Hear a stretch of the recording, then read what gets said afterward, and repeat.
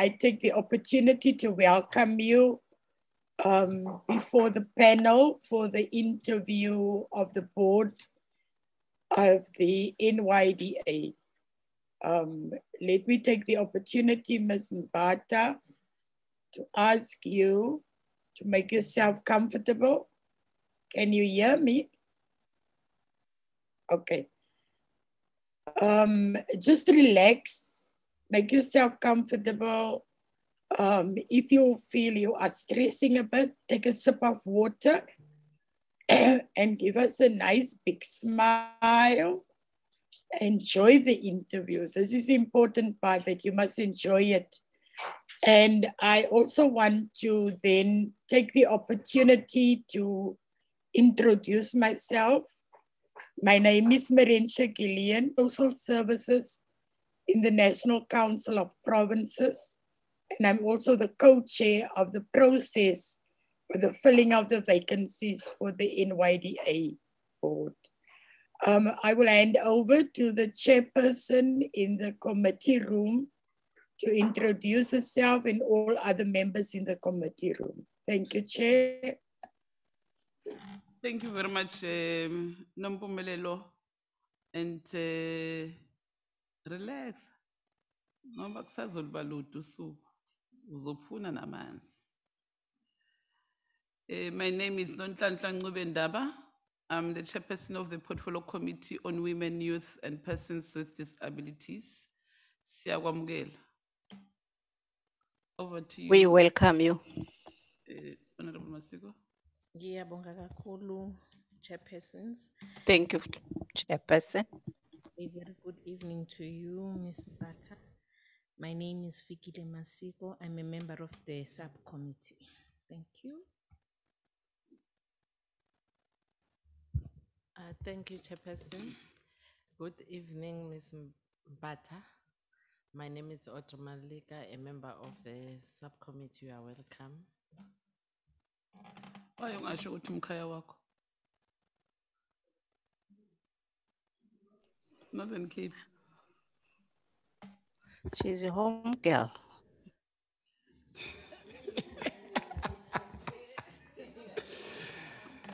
Oh, no, um, thank you very much, uh, Chairperson. Um, um, yes, uh, good evening to you, Ms. Mbata. My name is Louis Olompiti, and I'm a member of this particular subcommittee. Uh, warm welcome to you. Uh, Thank you, Chairpersons. Uh, My name is Mbule Lopacha. Uh, I'm a member of this committee. Thank you so much. Thank you very much, Chairpersons, and uh, good evening, Mrs. Mbata, Ms. Mbata. My name is Telisom Gweba, the member of this committee, and you are welcome. Are you Mbata or Mpata? Mpata. Oh, okay. Uh, Good afternoon, Ms. Mpata. Um, My name is Natasha Ntlangwini. I'm a member of this committee and all of the best to with your interview. Good evening, Sis Nompumelelo. I'm Boitumelo Joyce Maluleke, a member of the subcommittee.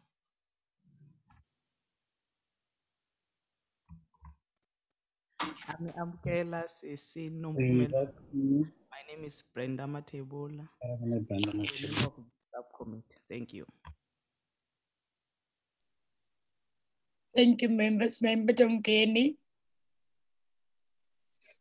Siyakwamkela Mpumi, igama lam ndinguNokuzola kaNdongeni. Welcome you, Mpumi. Member My yale name is committee. Nokuzola Ndongeni, a member of this committee.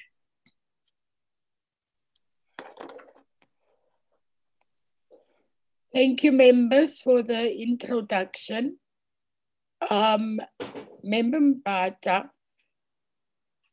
I will, I will ask you to briefly tell the panel more about yourself.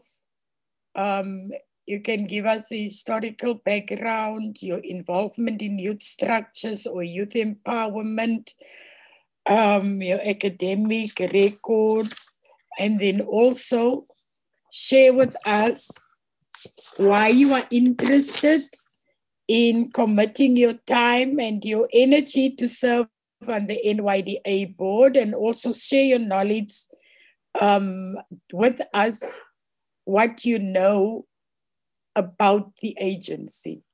You can you can answer the question. Thank you.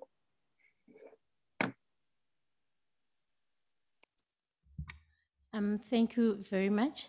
First and foremost, let me say thank you for granting me the opportunity to come and share my ideas with you uh, in terms of how we then further uh, improve and develop um, the NYDA.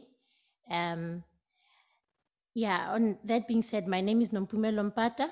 As it was said in the introductory, I'm a 31 year old uh, from Kuruman in Seoding, a vi- village in Seoding uh, called Seoding from Kuruman in the Northern Cape.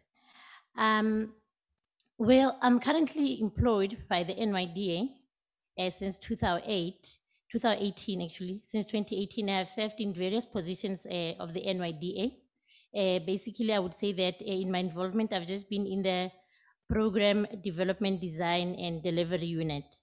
Um, my academic background, uh, I, I, I, I currently just, I recently just completed my BCom honors degree uh, with the University of, of South Africa.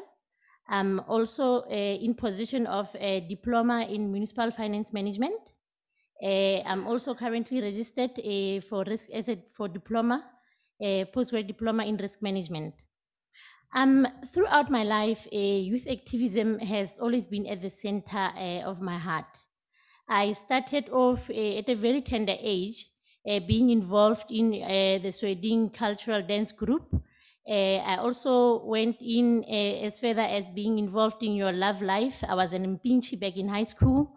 Uh, in tertiary life, I also continued with activism, youth activism, and even led in various social and political formations, uh, such as being in the National Executive Committee of South African Student Congress.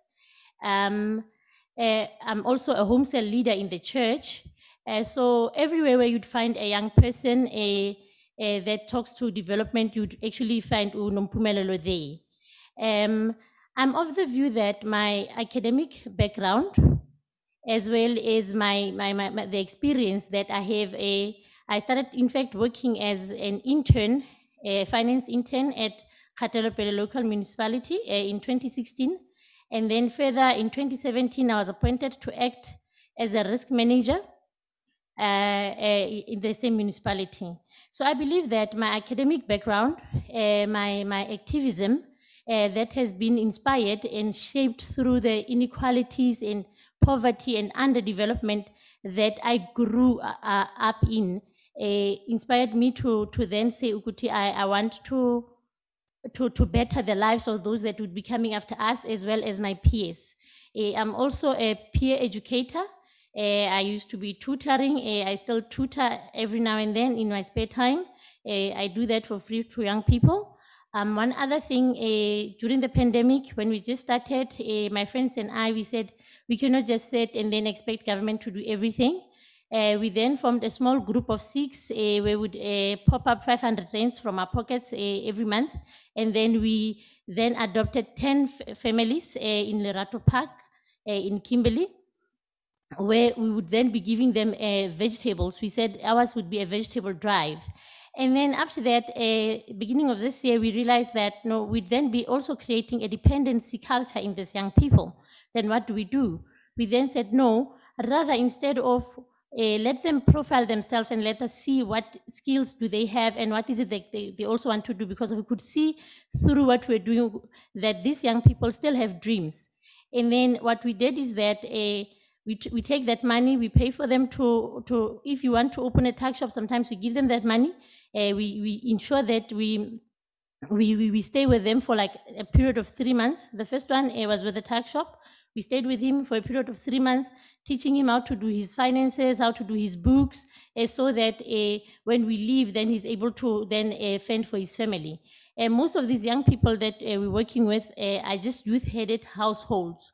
Um, um, so uh, I'd like to say that uh, basically um, I, I do have what it takes. eh, like I said in, in, in, in- my introduction, I do have what it takes my academics, eh, the passion eh, and, and drive to assist young people, eh, as well as eh, my, my, my, my, my, my, my experience eh, both in finance eh, and also in youth activity, in, in, in youth eh, development.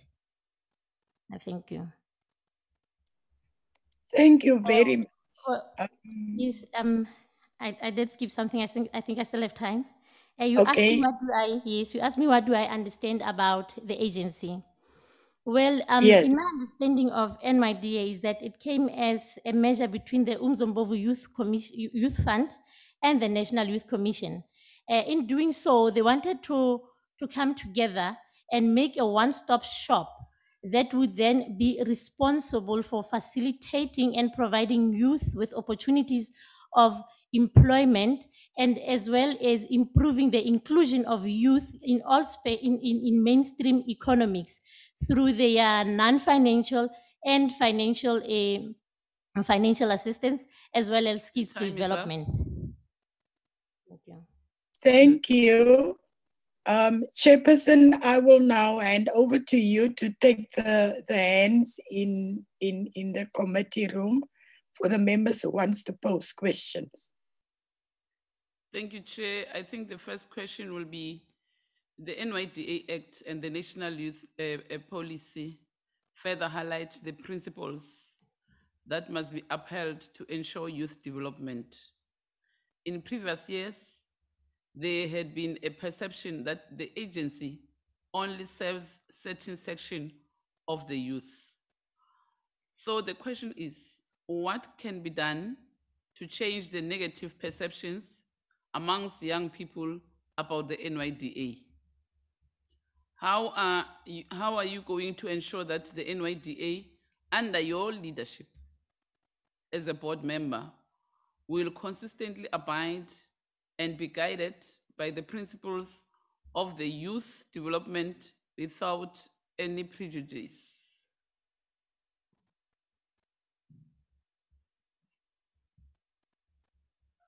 Um, thank you uh, very much, uh, Chairperson of the session. Um, well, I would like to say uh, the perception can only be fixed through good governance uh, via the board.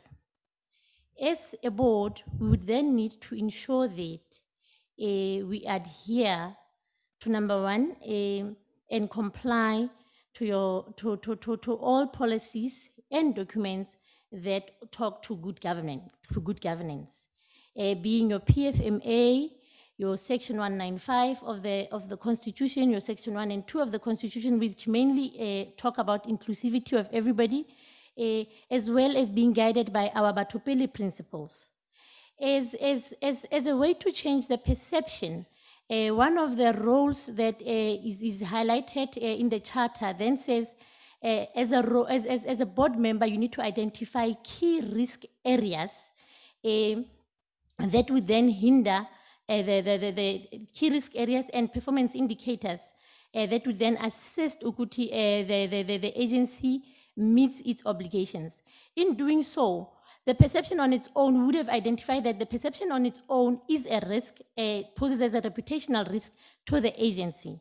Now, how do we then respond to that? Uh, I would then say that uh, number one, we, we, we, we, we go as far as um, ensuring that every young person on the corner of even a Heuningvlei in Kuruman knows about NYDA. Reality is that NYDA has been doing a lot, uh, and the only other issue that would be one of its shortcomings would then be the issue of accessibility. Uh, with its very limited uh, budget, it has been doing a lot in terms of accessing everybody. And I believe that through now digitalizing uh, mainly uh, our uh, uh, our outreach programs would be able to get to everybody, then working on this perception that we only get to certain people. Uh, young people are crying a lot about accessibility, and I believe that uh, it would be mainly what we should uh, prioritize uh, in terms of changing this perception. Because of uh, some of them, it's it's not that uh, NYDA does not assist everybody.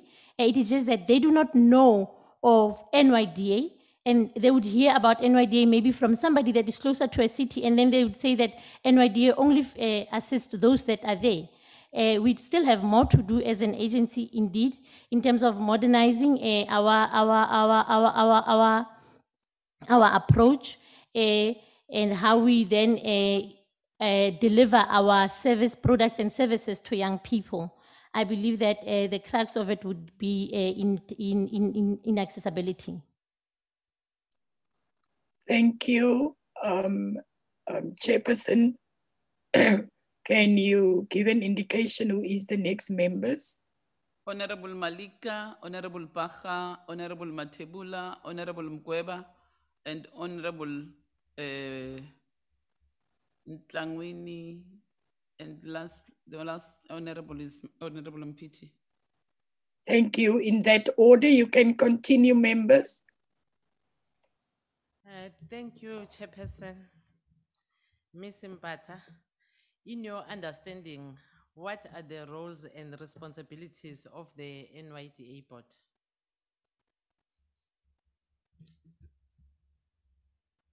Um, thank you, uh, Chairperson. Uh, thank you, uh, on, ma'am. Um, first and foremost, uh, the role of the board is would be to provide strategic uh, direction to the agency. Uh, apart from your appointing the C- a CEO that is credible and one with a also um, having integrity, uh, apart from also uh, determining the values of the agency, the NYDA board also has a responsibility of seeing to me, seeing to that their strategic objectives are in line and also translate to operational objectives. Um, one would then be uh, addressing the inequality of, of, of, of, staff that, that, that would then arise of, uh, and, and, and, and organizational processes in such that uh, would uh, how would it be addressed in, in to me would be uh, as NYDA, we need to look now into uh, looking at our policies, our HR policy. Currently, we've got uh, 39 managers in NYDA, whereby only 15 of them are female. So those are things that I believe that uh, the board should also look into.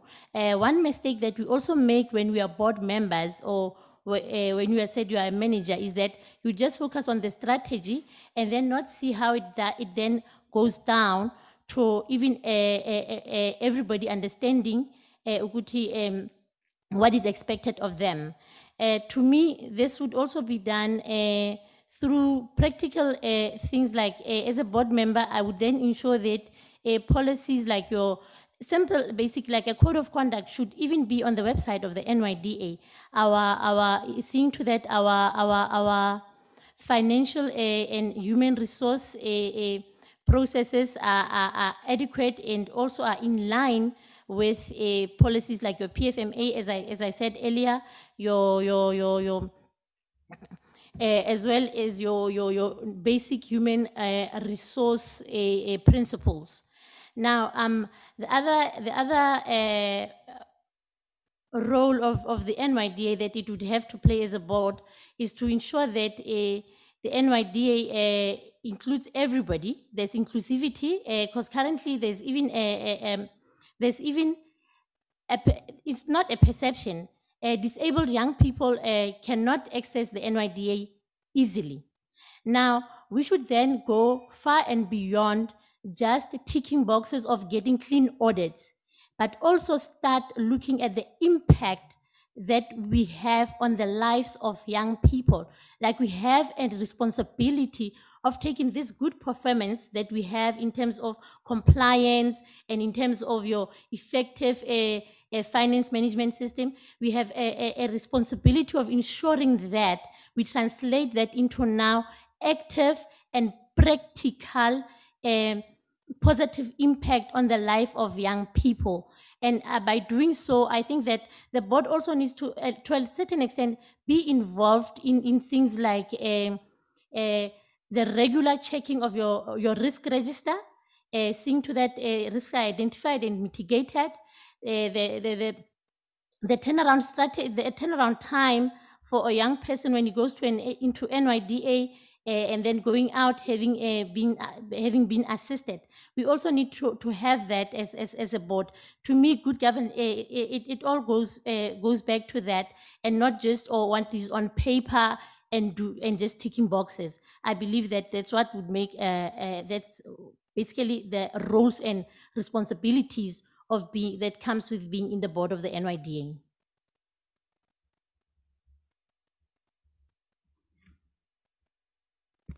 Um, Thank you, Chairperson. There's a, a global issue around employment and opportunities for the younger generation. And this has been exacerbated by COVID-19 pandemic. While there are many issues facing the youth of this country, the most prevalent being youth unemployment. Do you foresee any signs of economic breakthroughs for young people? What should be done to address youth unemployment, which is standing at above 70% at this particular time? Thank you, Chair.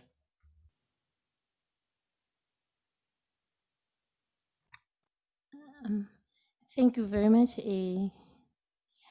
For me, eh, first and foremost, one should say that um, it is only through working together as both public and private sector that would then be able to combat eh, unemployment amongst youth and also positively empower young people.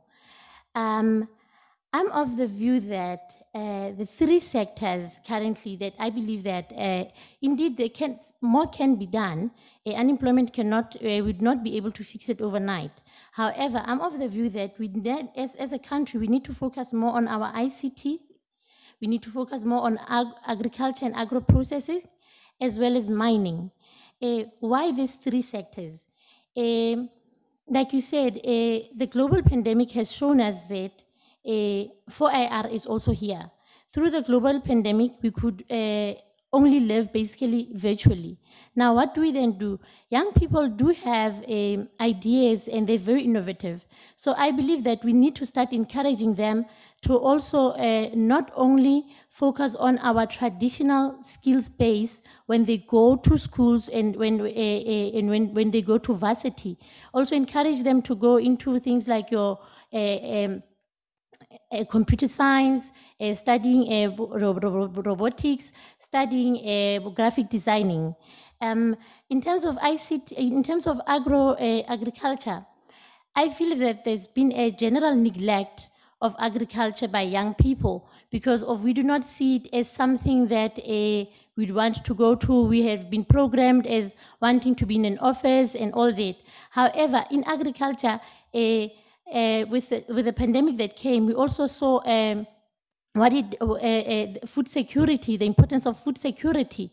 And I believe that if we then do also a mass uh, processing in terms of agri, then we'd even have to, uh, we'd then uh, be able to create mass employment. And then the other thing in terms of mining, I believe that we need to now start looking at industrialization, not only of mining sector.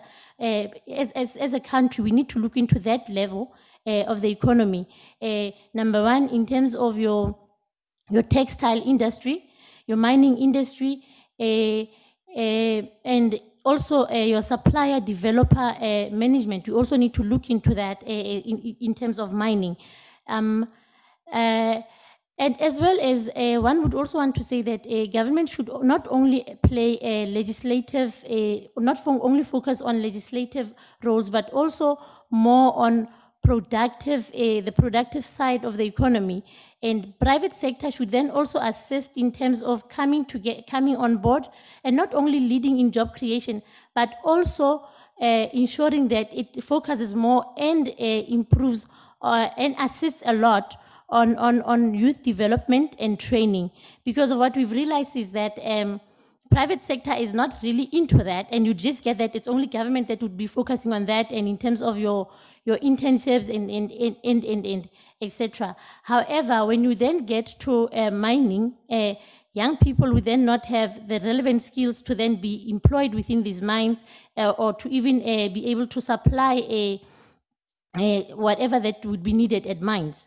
Now, if we looked at into that, all of us as, as a country, I believe that we'd be able to curb uh, poverty, number one, because then we'd be able to create employment. Uh, and then, yeah, um, it's. I think, I think, yeah, it's through partnerships like that that would then be able to be able to uh, combat and fight uh, youth unemployment.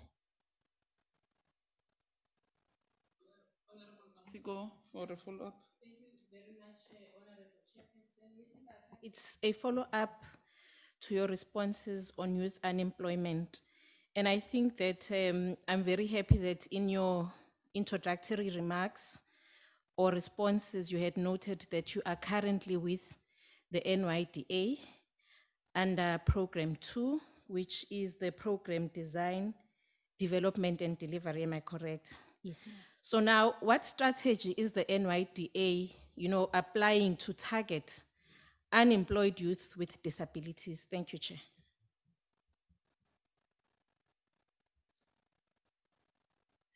Um, thank you very much, Chair. Um, currently, uh, not only to disabled youth, um, I think you know that initially the, the NYDA had what we called a jobs officer who would then uh, be collecting CVs of young people uh, and placing them uh, at, at times into learnerships and ver- in, in various departments. Now, what the NYDA has done, it has realized that even doing that, uh, young people themselves could not necessarily all access us. Number one, there was a, a little bit of red tape. You know that when you come, a young person had to come with a taxi coming to town and drop off a CV. At times, they did not have that. Now, what we have now as the NYDA is what we call a, a we also in partnership with with with with with, with and present is that we now what we we have now moved to what we call SA Youth uh, data. It's free data site whereby a young person can just upload their CVs. There are different kinds of your sectors of employment there and then you then even match your skills as a young person with what is there. So now uh, to me uh, that on its own then says NYDA is able to access everybody not only uh, the, the, the, the disabled one uh, uh, but each and every young person out there. And then number two uh, I would then say that one of the strategies that I think that I would advise is, is when I'm in the board is that we should also look into having our entire website as the NYDA to be a data-free website, whereby a young person would not even need data to access uh, our website. Uh, number two, uh, also ensuring that whoever then that applies at the NYDA, I'd also what would want to say that our our, our even our grant system itself, uh, there, there's this a uh, our our requirements for a person to get a, a to get funding. Uh, to a certain extent, does disadvantage others. Young people live on a daily basis, mouth to mouth, uh, hand to mouth uh, businesses, like your small businesses. Now, most of them do not even have a, a bank, a, a bank account, a, a business bank account. However, that is one of our requirements. I'm of the view that we should then be able to say, uh, as the NYDA, that for a young person to who is just starting a business, to then be able to access our business, registered or not, uh, as long as they're able to prove, even if it is with their personal bank account, that they have been doing this business and they have been feeding a but they have been able to to sustain themselves with that should then uh, be able to be enough to say that then we can start uh, maybe with a grant process and start training the young person. Like i believe that we'd all know that with the nyda you'd first have to go through training uh, which is your uh, and then from there then be able to, to to be given a grant. There's no person that would just give out money and not knowing that would be able to know how to use the money. So yeah. Uh, so I'm, I'm of the view that the NYDA is on the right track in terms of uh, trying to access everybody. Uh, more that there's more that can still be done though.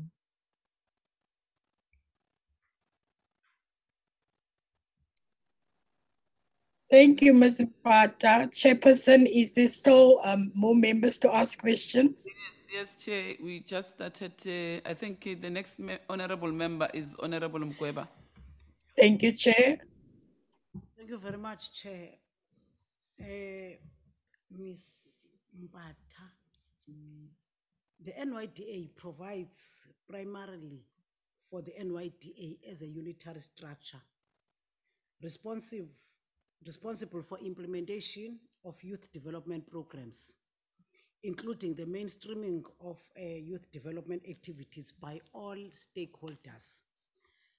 Then, uh, Ms. Mbata, what will be your strategies or your plans? Would you invent to ensure the agency effectively implements youth development programs? Thank you, Chair.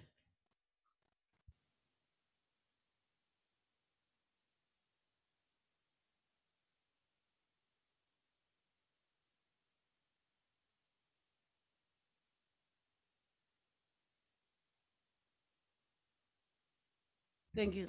No, no, no, I'm saying, what will be your strategies or your plans? Would you invent to ensure the agency effectively implements youth development programs? Now that uh, you, you, are almost a staff of the NYDA and you know what the act says in terms of making sure that there's a youth development uh, mainstreaming by all stakeholders. So what will be your strategies or your plans to make sure that uh, it, it efficiently implement youth uh, development programs?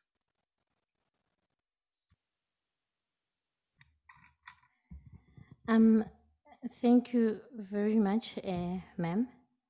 Uh, as a board member, to effectively to ensure that uh, programs that we have are done so effectively, uh, I would then uh, propose that number one, we look mainly into uh, education as the NYDA uh, and as a board. Uh, that would be first my my my my my my my my my, my, contribution that we look into education and skills development. Uh, the NYDA is said that it's supposed to assist young people in in all sectors. But what we have doing, been doing over the years as the NYDA, we had mainly focused on small business uh, development uh, uh, and, and, and to a certain extent neglected uh, skills uh, development, of which uh, I believe that we need to really go back and tap into that as, as, as, as the NYDA because of number number two not every young person would want to be an entrepreneur and not every young person that goes into the nyda is looking for a grant. Number uh, we we used to have what was called a career guidance as the nyda yes we still have a programs like job preparedness a, a training. We still have life skills training. However i think that we need to go back and have actual career guidance as the nyda um, because of it, it, it is online. However, a lot of young people, when they do it online, they struggle with it. Number, that's one thing that I noticed. Uh, uh, I used to be an intermediary at the NYDA. So as an intermediary, at times I would have to assist young people in terms of uh, everything. As an intermediary, you are you basically have to know all the corners that you can be able to assist young a young person over and above what you get paid to do. Now, what what what what what what I I, I would then say is that we like I said education and skills development we need to go back to that as as the NYDA ensuring that um, our our Solomon Mahlangu Trust eh, our Solomon Mahlangu bursaries is back again eh, and and ensuring that it can any young person is able to access that Eh, number two apart from uh, education, we then uh, also uh, be, be being uh, there for young people. Because, like I said, um, youth youth development is, is, is quite is quite vast. Some young people are there and uh, they don't know where to go to uh, in terms of when they have issues. Uh, not not not only with education but even personal issues at home Uh, i believe that young people should also advocate more of that Uh, a typical example uh, would then be for an example of other challenges that uh, would then be facing young people, uh, such as, yeah, let me say, access, access to health. A young person uh, is in Sweden not knowing uh, that uh, she's in Sweden, not having adequate uh, access to health. Uh, Time there is are up.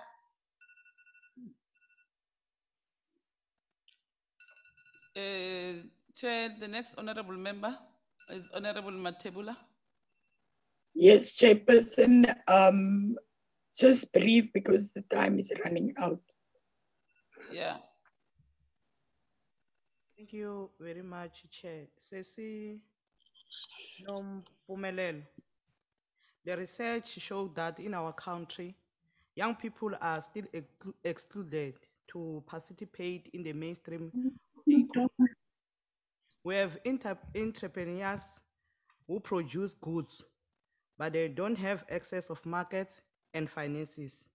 If you are elected to be a board member, what can you do to assist such entrepreneurs? Thank you, Chair.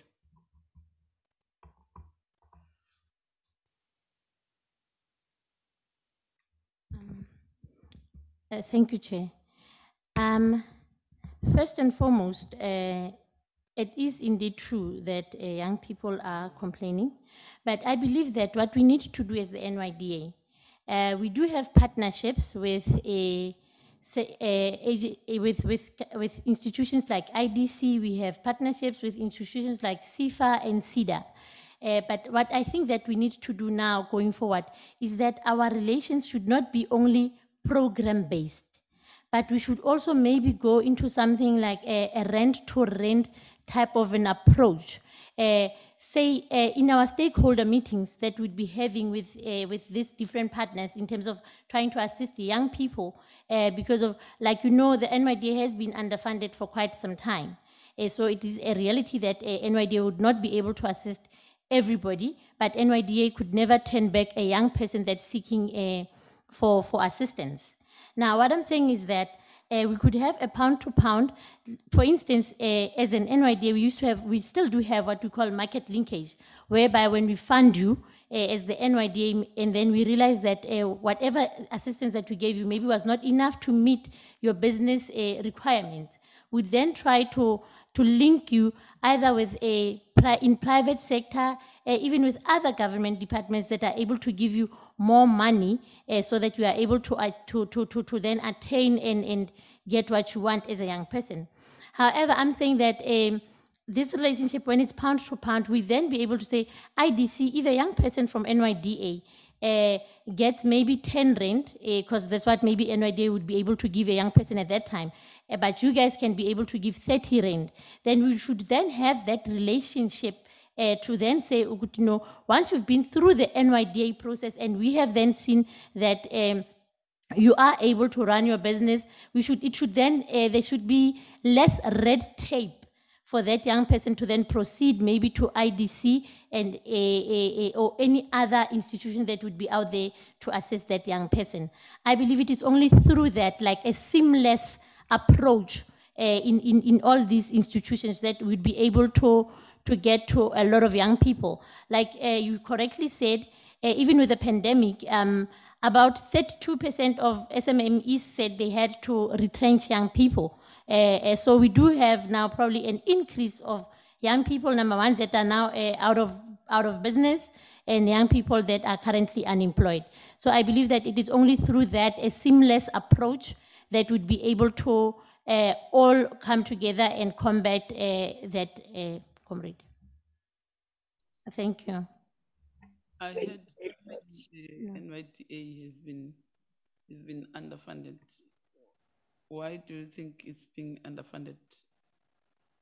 What are your expectations in, in terms of the funding of NYDA?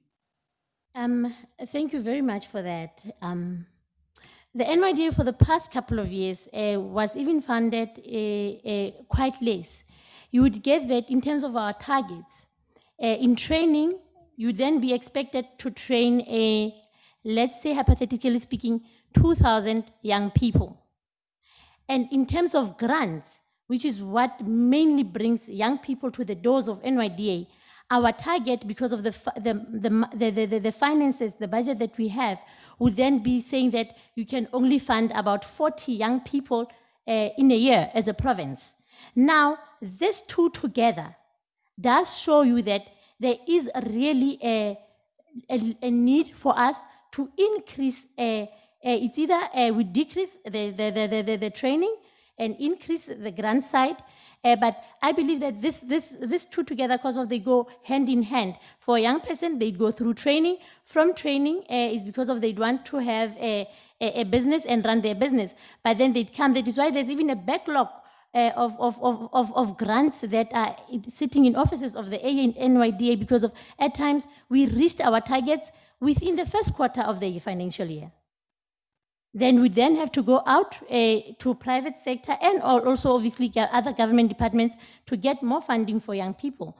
Uh, but uh, all in all, uh, I believe that the NYDA fund, I know it has been increased currently. Uh, within the past, uh, it really NYDA, I must applaud also the previous board and uh, the CEO that uh, they've been able to uh, to achieve all the targets uh, that were set in the strategic plans uh, with the little resources that uh, the, the the institution has been getting. Okay, thank you very much. Chair, I think uh, 45 minutes uh, is finished. Yes, yes, Chairperson. Um, Ms. Van Kuruman in die Noord-Kaap. Baie, baie dankie From Kuruman in the Northern Cape, thank you very much. paneel gekom het vir die interview. You've for the interview. toewens met I want to wish you all of the best planne. with all your plans um, for the future. was very good to have you with us. Um, is there any question that you would like to ask the panel? Maybe even before. Yeah, Yes, Chair. Yes, Chair. Uh, what I wanted to ask uh, uh, is that uh, she's currently employed full time. Ne? Are you permanent? Mm-mm, But do you know that the board is not permanent? mm-mm. So we are prepared to risk. Um, yes, I, I am prepared to risk. Um, uh, in my in my the rest of my life, um, when I even left uh, the municipality uh, on an acting post to uh, a position that was even lower, uh, that was within the NYDA, it is because of that. I said I want to be uh, in the NYDA and I want to assist in policies uh, of how we in policies in South Africa. That is why uh, my my focus, even in terms of my studies, when I did my dissertation, was in um, development economics, and I'm now doing risk management because of this uh, is the career path that I want to take. Thank you, Ms. Mpata. Um, um, is there any questions that you have for the panel? Um, no, um, just to say thank you for the opportunity. Um, when I started off, I was a bit panicked, but um, I must say the process is free, it's fair, and you did assist me a bit to to relax. So uh, good luck to others that would be coming, and thank you very much. You guys must be tired, and you'd be here for the whole week. Um, yes, um, all the best to all of you as well for the rest of the week. Um, that's all. Baie, baie dankie. Um, jy is verskoon, dame.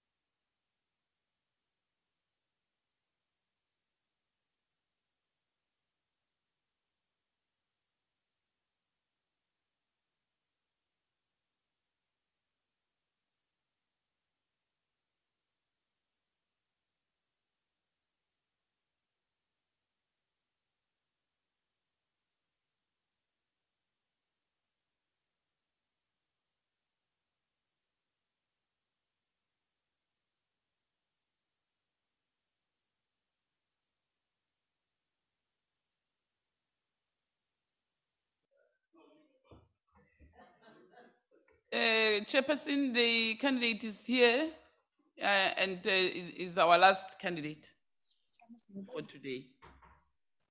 Thank you, Chairperson. Good evening, Mr. Malan.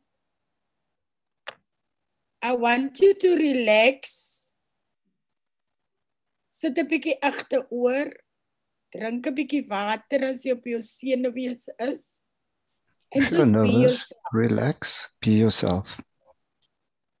Um, Mr. Malan, please give the panel your best smile. And um, I will I would like to introduce myself. I'm Maurencia Gillion. I'm the chairperson of the Select Committee of Health and Social Services in the National Council of Provinces. And I'm also the co-chair of this process to um, select the members of the NYDA board. I will hand over to the chairperson who's in the committee room with you to introduce herself and other members in the room. Thank you, Chair. Thank you very much, uh, Chairperson. Uh, good evening, Mr. Malan. My name is Nonhlanhla Ncube-Ndaba. I'm the chairperson of the Portfolio Committee on Women, Youth, and Persons with Disabilities. I'm co-chairing this panel with the Honorable Chair of the NCOP, uh, Honorable Gillion. Uh, you're welcome. Uh, Honorable Masiko. Thank you very much, uh, Honorable Chairpersons. Good evening, uh, Mr. Malan. My name is Fikile Masiko. I am a member of uh, this subcommittee. I must say that uh, as the last candidate, um, we are a bit tired, but um, your quote just lifted our spirit. So, yeah, thank you. Uh, thank you, chairpersons. Good evening, Mr. Malan. My name is Audrey Malika. I'm a member of the subcommittee. You are welcome. Thank you to the chairpersons. Uh, very good evening to you, Mr. Malan. Uh, my name is Louis Olompiti, and I'm a member of this committee. Eh, Thank you, Chairpersons. Um, good evening, Meneer. My name is Mbule Lopacha, a member of this committee. Uh, welcome back.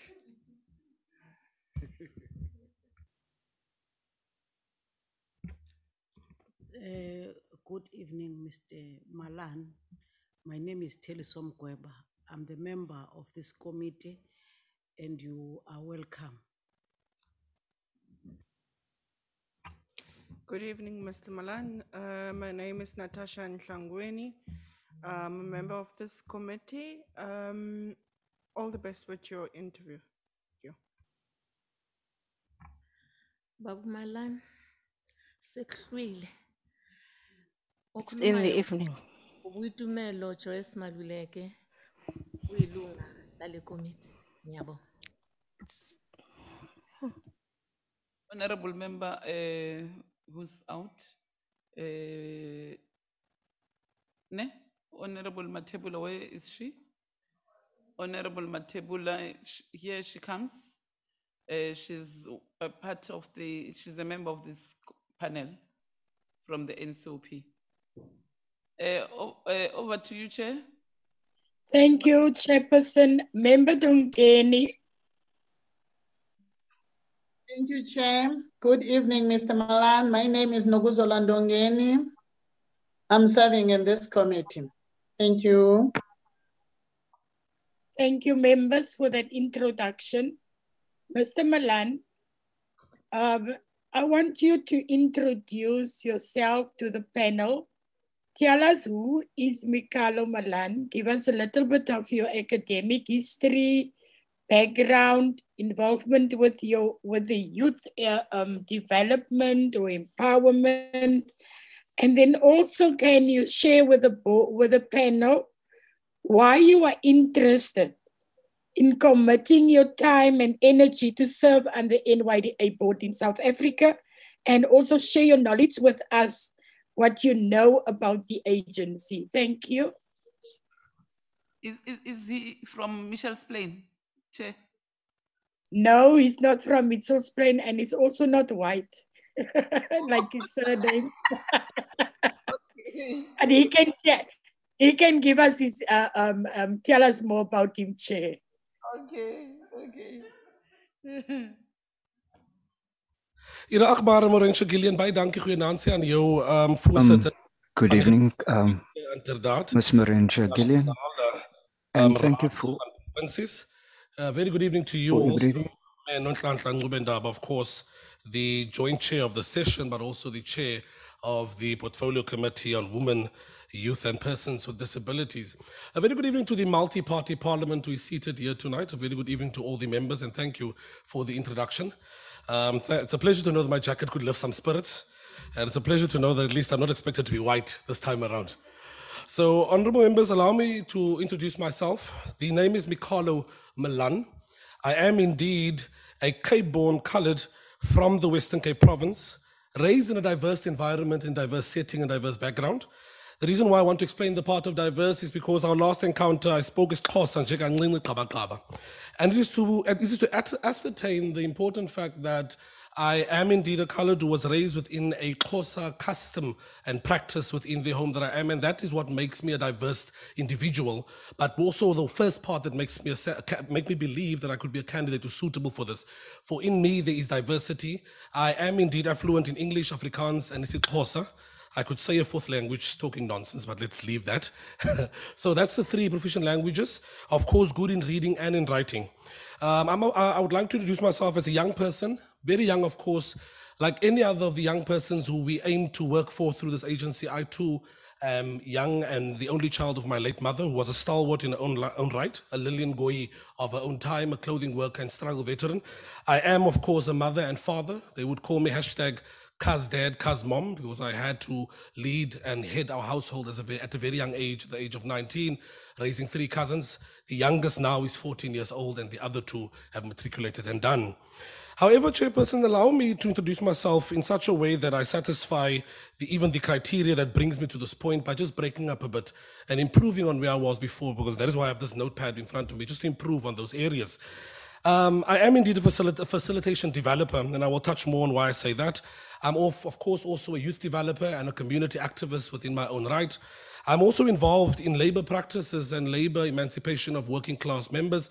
I'm a trade unionist, of course, and I was birthed and groomed by the South African Clothing and Textile Workers Union affiliated to COSATU. And that is what I would like to bring forward to the committee as being Mikala Malan, a young holistic leader who is involved in every sphere of society possible and where one can. On community involvement and youth involvement, I've been part of the Representative Council of Learners from a young age, which is the RCL, as you would know as the SRC. I've served as chairperson thereof.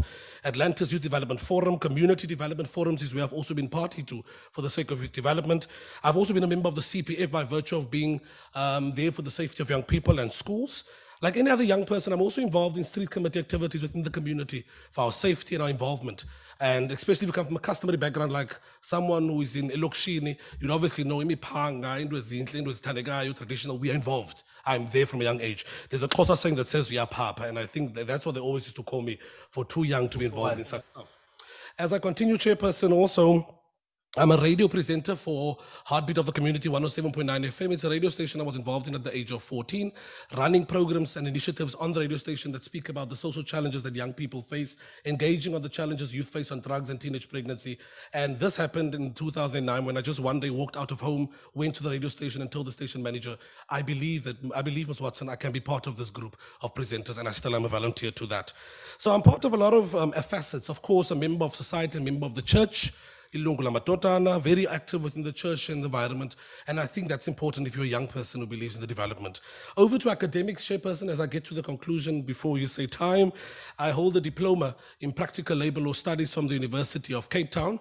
And this diploma was not attained based on being in a certain working position and being told you must do it for the imperativeness thereof. I was always the kind of young man within the confines of the trade union who raised my hand for any opportunity if there was. I also hold a high certificate in project management as taken as received from the University of Free State. and more importantly, also a higher education certificate in office management.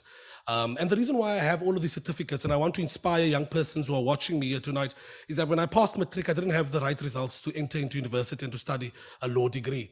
I cried, of course, felt like a failure, but never gave up. I continue to work hard and continue in youth activism, networking, and being part of every process and knocking on doors and seeking advice. I then went and got all of these certificates as a means to create my portfolio, which is indeed what you've seen in my extended skills CV that I've sent to you and to this committee members. With that said, I was then able to apply to the recognition of prior learning program at University of the Western Cape. I am a penultimate year law student. I've only got one more year to go in terms of attaining my law degree. As I conclude, I want to satisfy Honorable Member Fikile Masiko. I know that in the meetings that you've had previously, when you dealt with the criteria towards this process, one thing she raised is something she's passionate about and wants to see in a NYDA members, a member who's been part of decision-making structures similar or more closely to that of the National Youth Development Agency. I can state to you, as I've stated on my CV, I'm a former chairperson of an organization called the High Schools Program that is aimed at building leaders. It is no different to NYDA. The only difference at NYDA is at a national level, it is at a local level. NYDA has perhaps a huge amount of revenue that it uses. I was at the age of 15 years old, I gave oversight over monies that is largely to 1 million or so within the organization. Apologies, Chairperson. Not nervous at least this time around. It's because of time. Thank you. Over to you, Chairperson. I think that's where I can stop for now. And just lastly, Chair, if I can squeeze it in, I'm currently the SGB Chairperson involved in structures of school governing body as per my cousins. I am the Chairperson currently of Kensington High School and previously St. Raphael's Primary. And those are structures I can say, Ms. Masiko, governed by statutory legality. And I've been party to. Thank you, Chair. Thank you, Mr. Malan. Chairperson, I will now over to you so that you can handle the questions in the committee room. Okay. Uh, honorable members, uh, Honorable Ndongeni, Honorable Mgweba, uh, Honorable um, Piti, Honorable Ntlangwini, and Honorable Maluleke.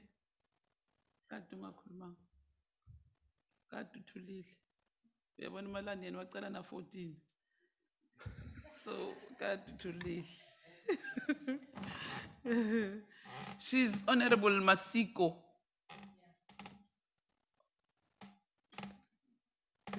Okay, over to you, honorable members.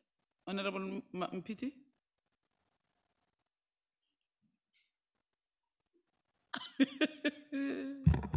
Thanks, Chair. Uh, I, I didn't think you would come to me first, but uh, nonetheless, um, Mr. Malan, you know, we've had quite a number of, of people come before us today and speak about um, ideas that they have. And my particular interest um, is really residing around the informal sector and young people who are operating within that space. Now, if you look at the NYDA and the thresholds of funding that they provide to young people, um, there's about four. Um, and the first one is set aside for young people who are in the informal sector, and it's capped at 2,500 Rand. Do you believe that more can be done in terms of empowering and developing young people in the informal sector? And should you be appointed into this board, do you think the cap of 2,500 Rand as a means of the only funding that a young person who, let's say, has a sneaker washing business, a gas, or a young person selling ama veg, do you think that is sufficient? And what would you do about it should you be appointed? Thank you. Bye, Danke, Honorable Peter. Thank you for the question. It, it, it ultimately starts, of course, with looking at the objectives of the National Youth Development Agency as the prescripts are prescribed within the statutory law in terms of Section 2A to, to subsection B, uh, subsection D. It starts there in understanding what are the environments that young people find themselves in, because in it there's clear research understanding what are the challenges or what is the what what what what, what entails what, what does the informal sector entail. In understanding that as a as a board member and as a member of the collective, it would be then important to take those young persons and young people and link them up to the important stakeholders that the National Youth Development Agency is party to by virtue of its position within the Department of Women, Women Youth and Persons with Disabilities. The amount that you speak of is indeed a limited amount. One of the arguments that I've always had and the contentions I've had outside and just engaging with young people is that I try to understand why is it that the agency always has the concern around it. There's a certain amount of budget. It can only provide a certain amount of money for young student, young people, whether it's formal or informal, and that is all it has. For me, there we lack strategy. My assurance to you is to say, if I have to make it into the board, one of these things I will look at in strategic planning is looking at the simple basic fact that the National Youth Development Agency is an agency of a department in government that ought to have been engaging with small business, ought to have been engaging with tourism or any other sector that impacts on that young person's business and be able to link that young person up with those key sectors in order to give the needed support. Now, let's say the scenario is that that's all that can be given to the young person. Let's say is so. I wouldn't want it to be that way. And that's the only amount that can be given to the young person. I personally would go the extra mile to engage Minister Khumbudzo Ntshavheni and say, look, Minister, I know that SEFA is there. I know that the IDC is there. I know there are various other structures. I would put the young person at ease in understanding that this is not where we are stopping. This is simply to show you that the National Youth Development Agency gives you the attention and is giving you the needed support and guidance. And furthermore to that, we, have, we are now going to take your documentation and send it to the important parties who are within SEFA, the important parties who are within the different stakeholding areas, who will also give you further support and financing.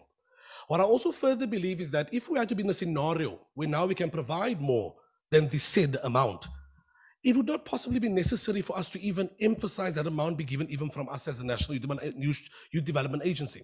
Because in that, we can use our partners and their assistance and support in providing the needed funds that would lead us to not using much of the funds that we have just in the direction of business, but use those funds as a means to capacitate even the young person who's not even open a car wash, who's not even open a taxi or a laundry company or a nanny company, and use those funds to provide capacity building and training on what businesses entail and what businesses are. And in explaining it that way, members, I'd like you to just picture how you could look at that at a provincial level or local level.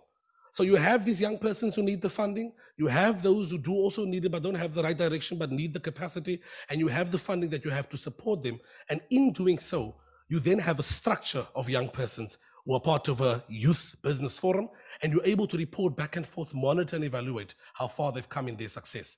In that way, you have a National Youth Development Agency that not only deals in just being a consultative body that gives donations or funding, but it is a body that is able to satisfy the prescripts of Section 2 of NYDA Act, and that is to holistically develop the young person. Thank you very much, Chair. Thank you, Mr. Peter. I hope that answers you.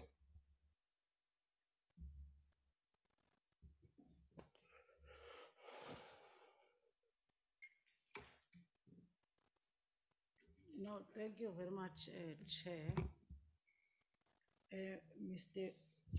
Malan, the National Youth Policy is a cross-sectoral policy aimed at effecting positive youth development outcomes amongst young people at local, provincial, and national levels in South Africa.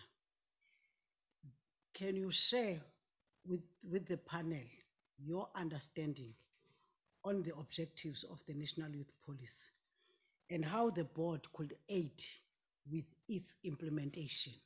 Thank you very much.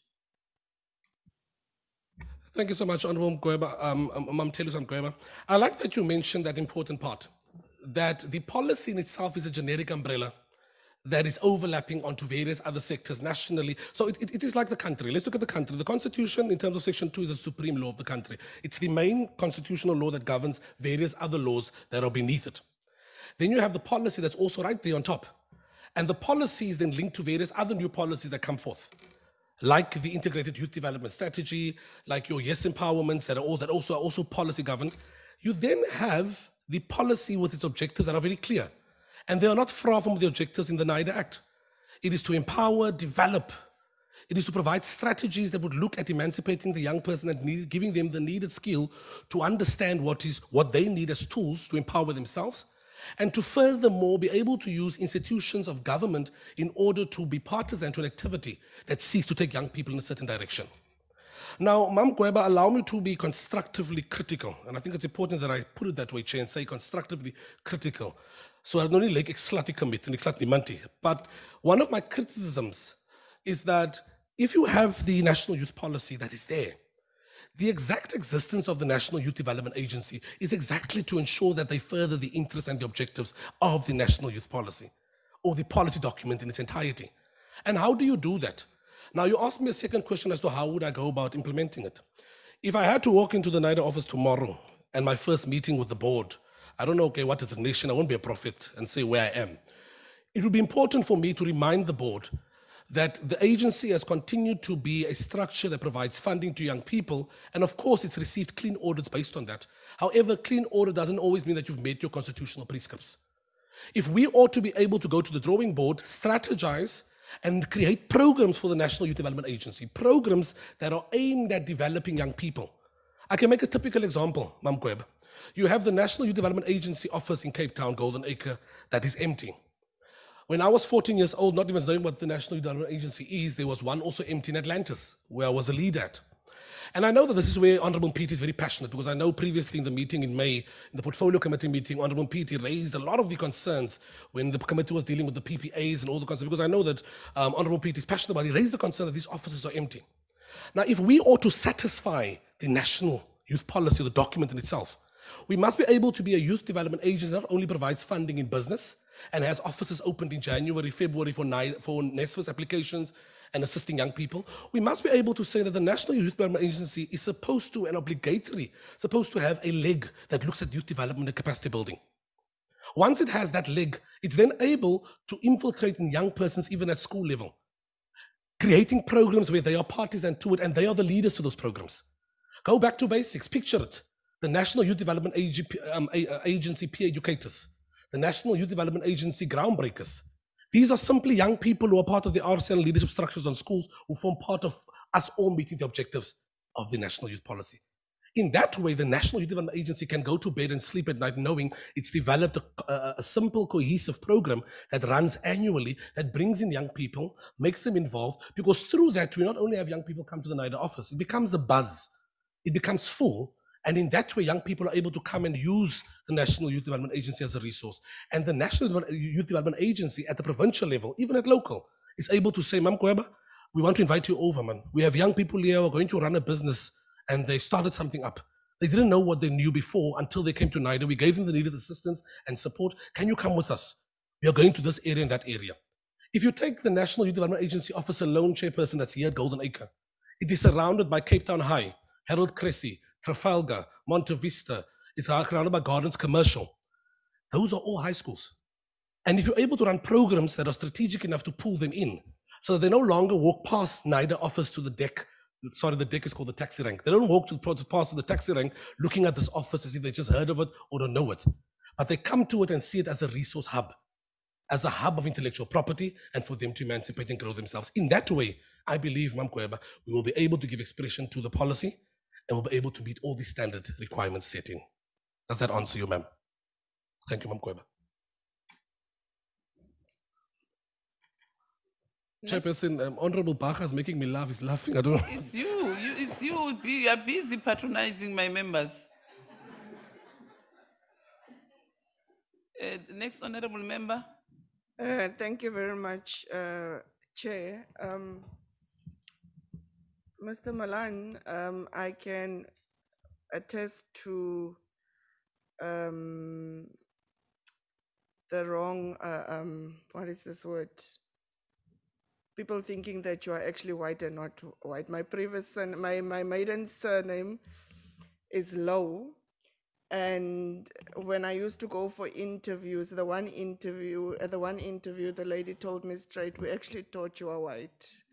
So I, I know the feeling, and, and you have to explain uh, several times. Luckily, my husband came and, and, and, and uh, um, saved me and gave me Ntlangwini.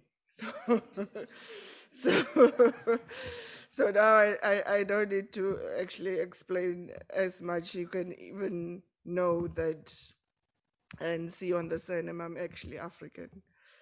Um, Mr. Um, Malan, the NYDA have been crowded by negative perceptions um, a lot in the media over young people itself, and also been um, having this dark cloud over its um, existence that there's a lot of political uh, interference into the NYDA self. Um, so if you were to be given a chance to being a board member, Um, what will you bring to the table to ensure that that negative uh, perception out in the public currently are addressed and that one, one um, young people know they have a, a agency that they that is accessible to them even to the deepest deepest rural areas of our country of young people trying to make a business out of say for example mere spinach that they are building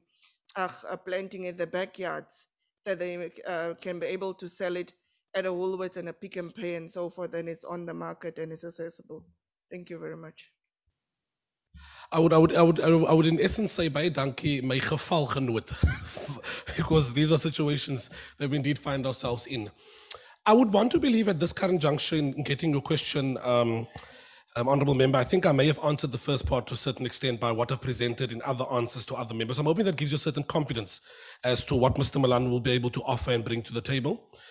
Um, the perceptions and the negativities and the criticisms, I'm not going to sit and lie. I've been one of those young persons who has been an activist in the communities, who's played a pivotal role and who's had a cry and concern to say, but what is happening? What is being done? And this is stemming from the year 2008, 2009. That's how long I've come with it.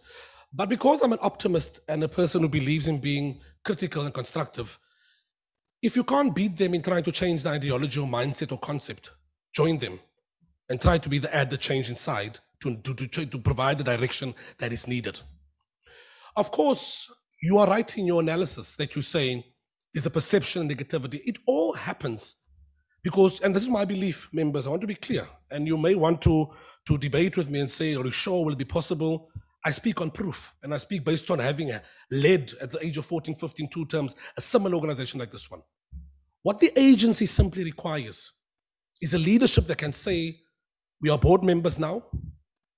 We are now going to meet with committee members all of these joint committee members, if it were me, all of these joint committee members must join us as we embark on a strategic planning weekend workshop or a session for four days, three days. In that session, we look at all the challenges, all the possible young persons who seek assistance support, all the young persons who seek funding.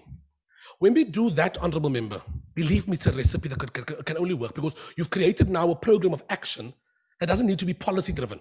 It doesn't have to be a policy. It must be a program action that is policy driven. Apologies for, for that. Because remember, we'll be guided by the policies. That is the only way young people will be able to really get NIDA on their lips. Because as I come back into this interview, eh, your words, Honorable Mbach, as I come back into this interview, it was still concerning that young people still say, but Mikalo, what is this that you're applying for? Mikalo, what is this agency that you're applying for? And, and yes, indeed, it's at times it's very sad um, it's sad because young people yearn for such programs and such initiatives. And at the end of the day, some of us even have colleagues or friends who serve on this board or have served on this board, and we hear how young people say, I've appealed to Honorable Maseko, but she's not come back. You said she's your friend, you said you know her, you gave me a number, she's not come back. And I think what the agency needs to realize is that the agency is no different to a corona vaccine. It's no different to a tuberculosis injection. There is a disease and virus of young people needing help and unemployment. We are the vaccination. Be it that we vaccinate young people by simply taking the young men off the street and simply through the local office of NIDA, whether there's a kitty that exists, take that young man and have him buy his supplies and sign off a requisition of 3,000 Rand for this young man who has a car wash somewhere there. Because all he needs is the is, is the chamois to wash the cars. He needs the cloth. We don't worry now about compressors. Let him grow the business because now we teach him how to be a businessman. He comes back six months later. He says mr Malan thank you for that man. You helped me lekker man. But now i need a compressor man. The cars are like five six seven. Now no longer two cars.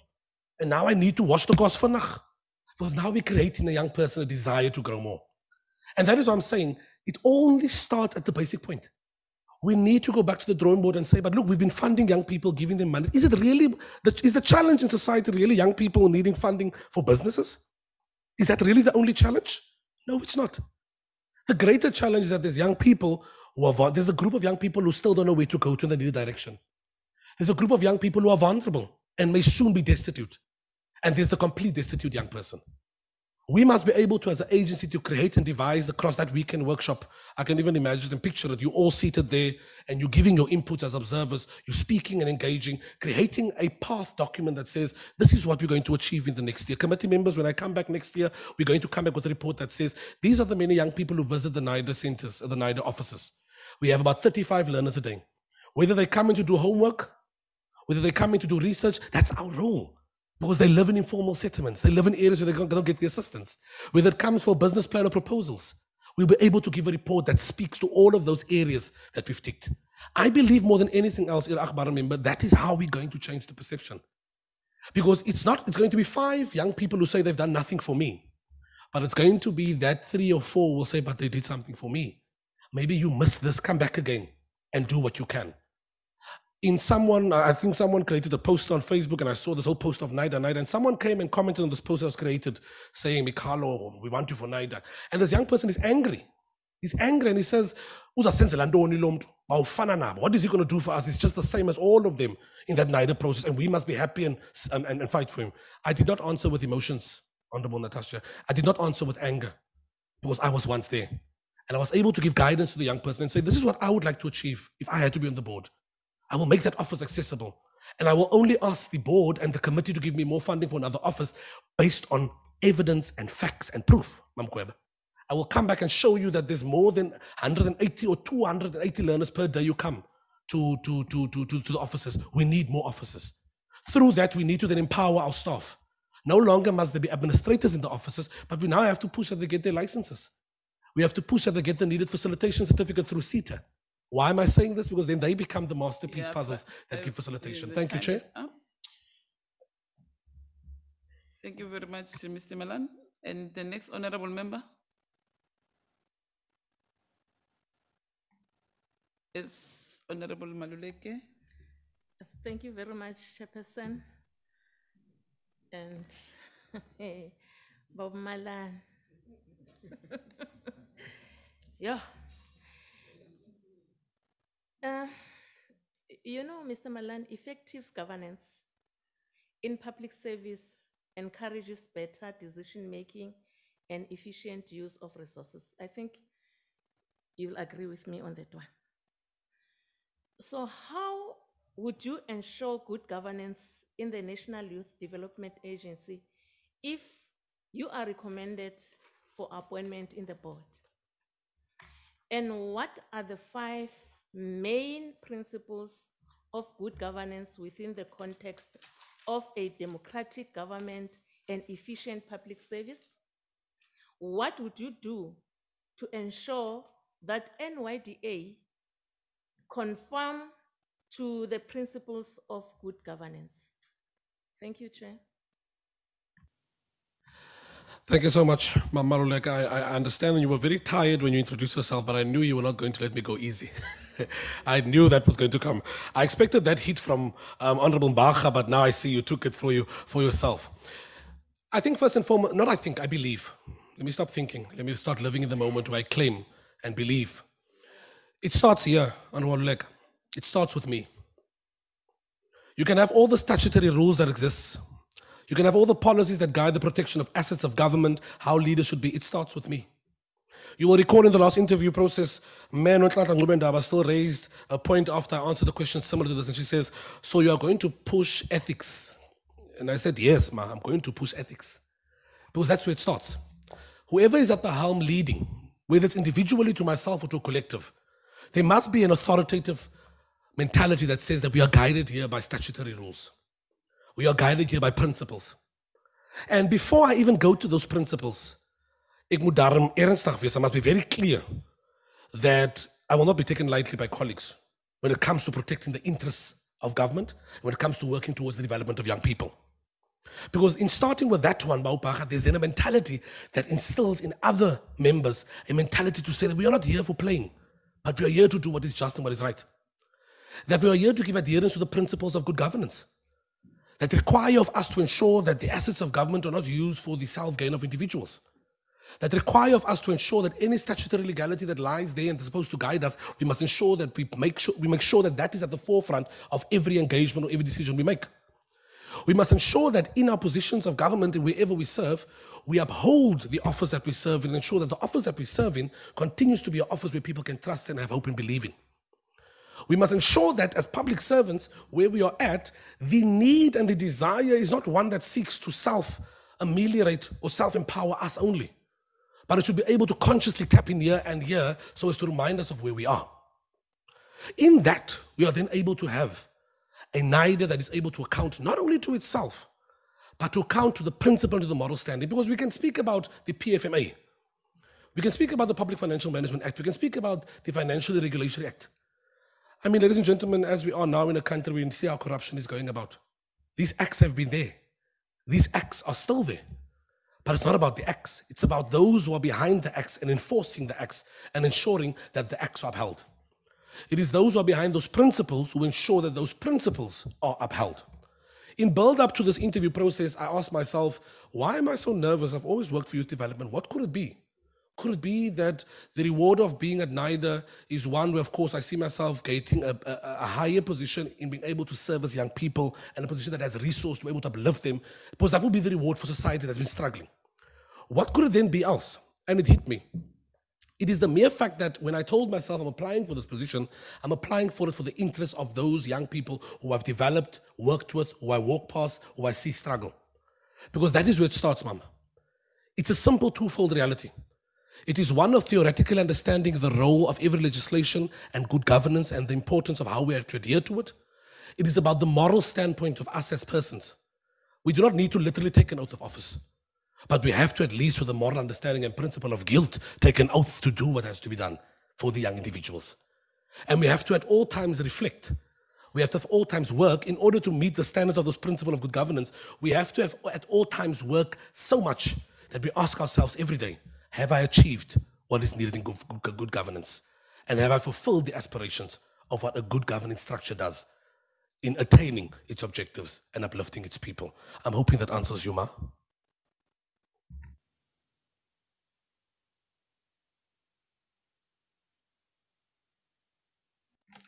I mean, I thought you were going to make a follow-up question. Yes, Baka. No, I, I, I don't want to disappoint you by keeping quiet. Um, I, I thought let me let me say something. Um, we we are confronted by coronavirus as we speak, which requires that uh, something must be done for the young people. More than 70% of our young people are unemployed. Now, it's important to talk about it um, and get an answer from you that if you were to be appointed, what is it that you think you would do to respond to the challenge that we are confronted with? Taking into account that there's not much that you carry within the budget of uh, the NYDA, how would you then ensure that beyond what you have as part of NYDA, you then um, deal with all the ills that are confronting young people on a bigger scale? And that's what let me ask you that so that I don't keep quiet because you'll feel that I've let you down. Thank you so much, Honorable Bach. I think maybe I missed you actually. I think I missed you. It's a good thing I came back. Now you're asking me questions. But you're asking me a question that I really am happy that you're asking me because now you you you you're allowing me to engage more and give you some sense of what capabilities I would have too. I think the first phase and first stanza of your question could possibly be answered already by various ideas I've given in the process of the interview process, what the capabilities are and what we have. But however, let me paint a practical picture. And please note, chairpersons, I'm not um, I'm, I'm coercing the committee to put in a certain position or guide me. I'm just I'm just giving a practical example. Here I am as the board member of NIDA, chair, deputy chair, doesn't matter which designation. I'm in the Western Cape and we have a program of action that runs COVID-19 hits. Remember that I mentioned just previously that we ought to act as if we are vaccine to all the challenges and concerns that young people face. And we ought to occupy all spaces that young people face. Now, Anwar Bacha, there's one word in the in the in the acronym of the uh, the NYDA. There's one word that is important, And that, then that one word obliges us to act at all instances, doesn't matter when it is. It's that word youth. If we were simply a national development agency, then we could have been lost and not know where to go to. But because it says youth, that is where we are, that's our starting point.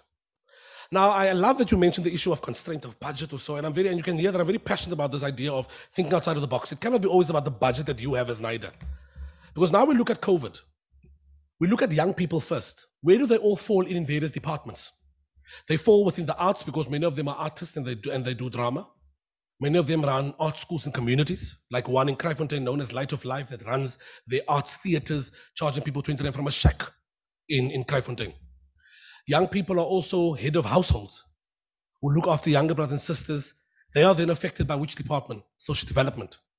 Young people then own farms, or they are trying, as, as, as the Honorable um, um, Low, my apologies, I forgot your, your new surname, Honorable Low, as the Honorable Low has stated, they grow a spinach. Who do we have there? We have the Minister Mcebisi Skwatsha in terms of rural development. We have Minister Barbara Creecy in terms of agriculture, forestry, and fisheries. I hope you see where I'm going to with this, Honorable Bach. I'm not even touching on the monies that I have within NIDA. I'm not even talking about the constraint that you have. You have a concern with the constraint. So let's say we're in my office and you're coming to me and you're in my office. I'm in your office now and you're raising this. But I'm telling you in my office, I hear what you're saying. I get the concern. I'm not worried about the constraints because as far as I understand and know, departments are ready to give what they can to young people and ready to give in assistance. And because of that, it will be also important that as a national development agency, in order to alleviate our people from the constraints of COVID, is to be the voice for young person in those structures. Now, whether it is labor under Minister Thulas Nxesi, and as I said, I'm a trade unionist, I must be there. Why? Not because I'm a trade unionist, because there's a huge amount of young people who work in the working class, who work in factory levels, who work in railways. And we must be able to be there to occupy the space, to provide the needed strategies, and to give the proposals to government and say, look, we know COVID has hit. This is the amount that we need in support or practical um, sense of what you can provide us, Minister, for food parcels or so, for young people in Hout Bay, for young people in Khayelitsha, for young people wherever. Because according to my local office in Knysna, these are the stats I've received in what is needed. And I need to do the best that I can to give to young people what I can. I've not even touched on my own budget. I've not even touched on my constraints. In that, young people also feel safe and secured because the agency has become an agent advocating for the upliftment of the, of the struggle in terms of COVID. That then also means that one goes over to other areas, be it arts. And I mean, I am an ambassador, I'm, I'm currently an ambassador to the Artscape in partnership to, to the European Union under Chancellor, Chancellor Merkel. And I've just returned from France. They use a simple mechanism of ensuring that at all times, young people use the economic environments that they're in and they teach them how to use those areas as a, as a means of emancipating them. We are in a crisis with COVID. Mine is to say, as a board member, I would give the needed guidance and reminding young people that we are not far gone or no far lost. Secondly, I would ensure that as one who gives oversight and who's the, because you're leading society, you're leading young people. Who do they go to?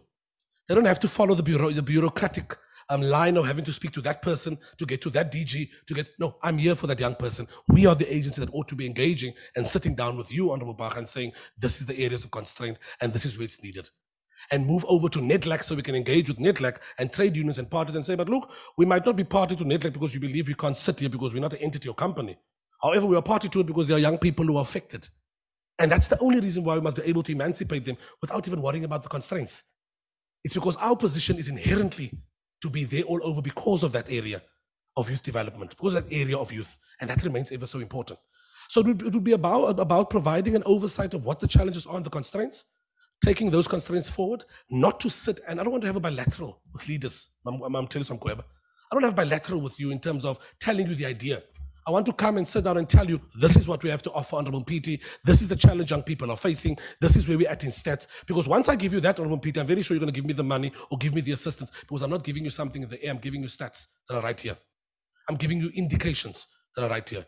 And more importantly, when we look at COVID 19, we jump and we hear about unemployment is going high. People, we are saying unemployment is going high and we are not able to deal with unemployment. Mine is simple, and I learned this from a gentleman at, at, at SACTU who heads the industrial policy. We must look at the industrial indicators. Because the moment we say that employment affects us all and it's low, we're looking at it at a hindsight view, a generic view.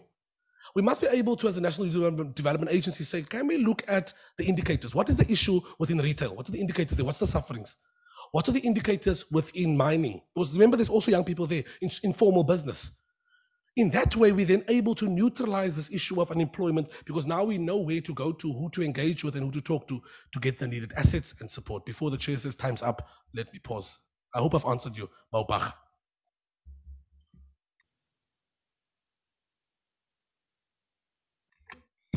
Thank you very much, uh, Honorable Chairperson. Um, I must say, Honorable Chair, that it's very encouraging to know that uh, Mr. Malan is actually following the work of the Portfolio Committee. And I hope that uh, in your eyes and those of many other young South Africans, Mr. Malan, we are doing a good job. Um, you have noted that, Mr. Malan, you are actually, or you have worked, or you are currently working with a number of young people in different sectors, uh, which include the civil society organization as well as young people in churches. Now, if you are appointed to the board, what innovative strategies would you use to further strengthen government's uh, a, a program of moral regeneration, especially working with the young people in the religious sector as well as the civil society organizations because you'd find that most of the time as as, as honorable members have have actually asked um, that there is a perception that the national youth development agency is only accommodating young people in the political space. And you'd find that the youth in churches eh, are not fully participating or involving themselves in government programs as well as the work of the National Youth Development Agency. Now, in relation to the moral regeneration program that government has, what strategies would you use in accommodating young people in civil society organizations as well as young people in churches? Thank you, Chair. Thank you so much, um, Honorable Masiko. Your question goes to heart. It goes to my heart because that is where I became who I am today. And it was all of those moral areas that were important. And as I said, growing up as an orphan with no mother, as only child, you, don't, you couldn't only imagine the risks I was, I was, I was prone to right there in society. But thankful she left me with doors open and people to look after me. It goes, and, and I don't want to sound like I'm a rhetoric or broken cassette, but I like how the questions are going because it's as if it speaks to where I want to take the point and paint the picture to you. It goes back to that important point. We look at the amendment bill of the National Youth Development Agency that says now we have to look at provincial and local offices. The local office, in conjunction with the provincial office, should be able to know what kind of community it's working in. Because remember, we then have the moral strategy, or we have the agenda on what, on what moral technique we want to use to addressing those moral issues in society, such as teenage pregnancy, such as substance abuse, such as gang violence. Now, I've been there, Honorable uh, Mas- Maseko, ne? Maseko, Maseko, Masiko, Masiko. I've been there, Honorable Masiko. I've been there in 2008 when I saw that young students, irrespective that we grew up together and they were my best friends, they were robbing kids as they leave from school. Now imagine me, I was not NYDA at that time, and imagine NYDA office was just two kilometers or three away from where my school is. And it's empty with an administrator, and here I am as an activist or a youth leader, my school RCL chair. I then created an initiative. And I said, can we not organize and have a peace building forum? Let's organize society. Now, imagine that organizing being done by NYDA. I want you to try and just picture those as a similarity and congruency. I'm doing it, but imagine if it was NYDA. And if and when you imagine it, Honorable Mas- uh, Maseko, imagine me doing it literally. Yeah, bon? So now we have the now we have identifications of what's going on in society. Now then I organize and I say, but where is the police? Police have a duty to patrol at least to the schools for the safety of children. How do we deal with this issue? At that time, I was also embarking on programs on school to deal with substance abuse, to deal with teenage pregnancy. And at that time in Atlantis, there was a high school, I won't mention the name, it had made, it had made a decision in its, in its governance structure to build a nursery on school. The purpose of the nursery was that if you came in with your child and you're teenage pregnant, you then bring your child in and you leave your child in the nursery, you go to your class, you come break time and you feed your child. We fought it vehemently. We said if we are trying to emancipate young persons and give a direction that morally says it's incorrect to accept that the child is pregnant, not judge them, not make them feel isolated from society, how can a school embark on such a decision? That later left the school with 31 learners pregnant within the schooling environment in that year. It's, it's important for us as the agencies to be visible and to be there at all time. Honorable Masiko, if it means that I make it to this board, and every day, like having a sanitizer in my car, must have the NYDA banner in my boot, and you come to Cape Town, and you've been invited to address a certain church service or anything, you really must be done. I will run immediately and come to you. And if you don't call me, I will tell you, why did you not call me? I think you understand where this comes from. And you know where this um, strategy comes from of having to call leaders when they're in places. That is where young people know. But who is this guy? He's from NYDA. And what do they do? In that way, Masiko, as a strategy. Because remember, we are here now where young people don't care around to know the National Youth Development Agency. I'm there with my banner addressing a church service, reminding young people that the, the Bible teaches us that we ought to be in this way and that way. But now I'm able to also speak and engage young people in network after service or after an engagement that takes place. And in that, I have a piece of paper. Write me your name and your surname, and write me your number and your email address. We are going to start a group within this area of the community, and we will deal with issues such as these within your church. If you need me to come, we'll be here because we are the National Development Agency.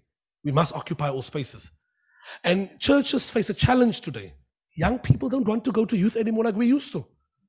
Because parents have lost the plot. Parents have just decided, no, it's fine. My cousin is 14 years old, but I'm still very clear. You come in here at say half past seven during the week if it's school. And if it's weekend, you can come in eight o'clock because I know he's down the road. Other than that, you make sure you are home. So the moral issue starts with us reminding people of that moral context. But in also being able to create programs, Honorable Maseko, that alternatively redirect them. Because in order to attain the moral issue, or to, to, to, meet the standard of the moral, the moral program or the agenda, in swaying a young person from drinking, in swaying a young person from being pregnant, we must first be real. Young people will be sexually active, it's proven. Ours must be to be honest. Are you using protection are you engaging in stuff that are important to keep you safe? Young people will drink. It's important that we engage on the safety issues. Fetal alcohol syndrome, it's one of the courses I've, I've, I've facilitated. I'm passionate about this on Masega because this is what I do. I do facilitation and training. Any community can call me, whether it's where Hout Bay, wherever. I didn't have a car then. I would take a bus, sleep over somewhere just to wake up the next morning and do. So I think that's important, Honorable Uh, Maseko, to run those programs. uh, 45 minutes. Thank you. Chair.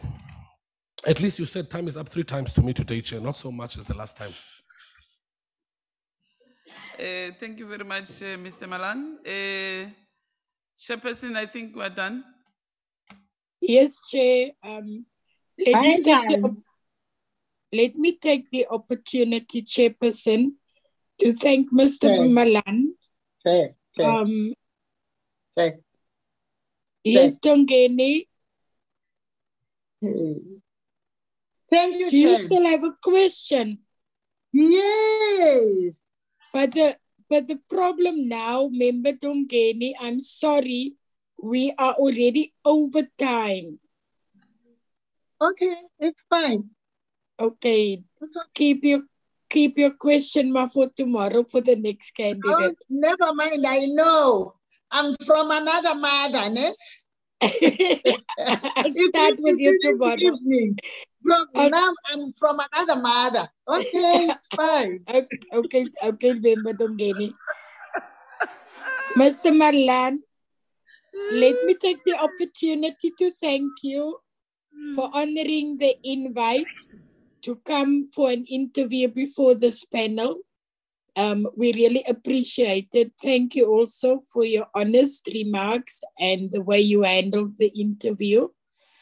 Um, I want to wish you well, Mr. Malan, on your future endeavors and also wish you luck. Um, do you have any question that you want to ask the panel? You, wo- Related to you, the you, process. you won't believe um, how many mm-ms came from the floor now when you asked if I should ask a question. There's one thing I can say this committee has always abused me. They always book me at night to come for an interview when they're tired so they can wake up. So I think they've woken up enough and there's no questions for me to pose, but to simply say thank you once again for bringing me back. And I can only hope that you bringing me back was brought back on the right merit, on the right principle, because you believe. And I hope that as someone who came in new, as you met him the first time, I can, I've proven to you that there is a capability and ability to work with you and the committee. I thank you very much. I wish you all of the best and safety and keep safe. And please maintain social distance. Thank you, Mr. Malan. Um, you are um, excused. Let me also, Chairperson, take the opportunity to thank you for your leading role in this interview process. Thank you to all our members. Um, it was a long day, but um, I need to thank you for your commitment. I need to thank our support staff, administratively, our legal team, communication, IT. Thank you, and I wish um, all of you a peaceful night's rest. And um, I'm going to hand over to the chairperson to close the meeting. Thank you very much, uh, Chairperson. Thank you very much, Mr. Malan. You are excused. Uh, thank you very much, honorable members. Uh, Ufuna? Chair, um, u- ukhohlwe ukubonga kwi-translation service and we'd like to hear them for the last time. chairperson Go home. forgot to thank the translation services. Uh, siyabonga uh, to the translators zethu. Thank Eh, you, Nisebenze kakhulu. Translators. Siyabonga kakhulu. You worked hard today. Thank you very much. Even tomorrow, still need you. It's still a day. Yeah, yeah.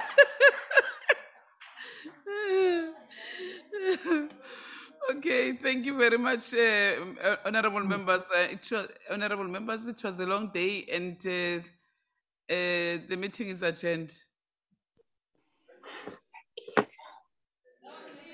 Tomorrow we are starting at at 10.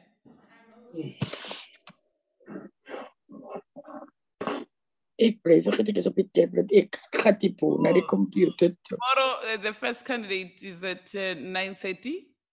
So um, please be ready. And so tomorrow, the documents must be ready. Yeah. Okay.